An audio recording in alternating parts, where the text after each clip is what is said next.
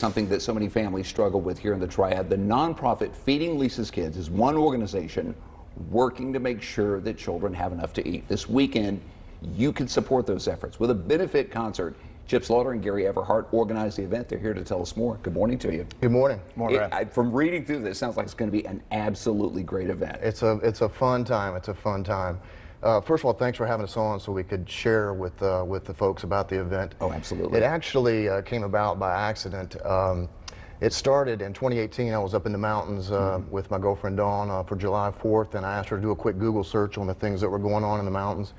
And uh, she said, uh, "Well, the lead singer of Boston Mm-hmm. has a band, and they're playing up there. And being a kid of the 70s and 80s, classic Yeah. rock fan, I said, well, that sounds like something we should do. You know, let's go check it out. And sure enough, it was like sitting in a Boston concert uh, in a, just a, a yard chair. Wow. Um, uh, just so intimate. Great band, uh, very gifted, very talented.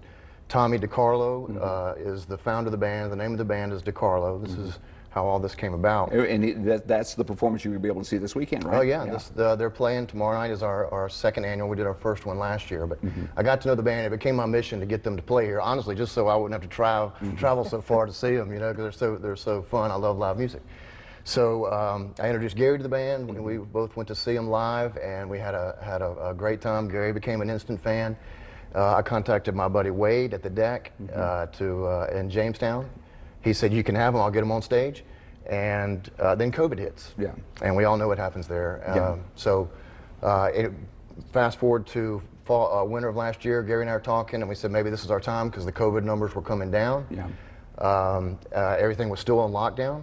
I contacted Wade and I said, uh, "Hey, how's your availability?" He said, "Ironically, you know, I've got plenty of openings." But what's going to be set tomorrow night? We want to emphasize that. We, we do want to Yep. talk about the- Lisa's kids, and Right. that's, that's really where all Yeah. this goes. All the money Right. raised here goes exactly. to that, right? You know, food insecurity, which you guys have covered really well, is very um, uh, it's daunting in this area. Mm-hmm. We were in the top five in the nation.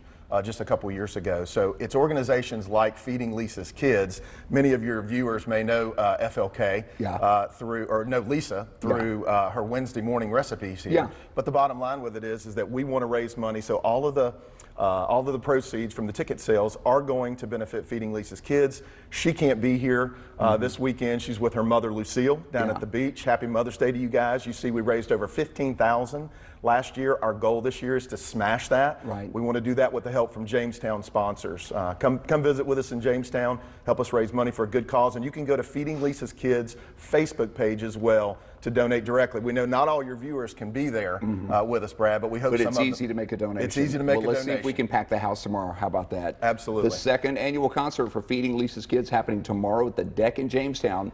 It's on East Main Street. The show starts at 7 o'clock. Now, pre-sale tickets start at $20. All of this going to a great cause. Buy them online at freshtix.com and search DeCarlo. Tickets also available at the door. Again, tomorrow night, 7 o'clock at the Deck in Jamestown.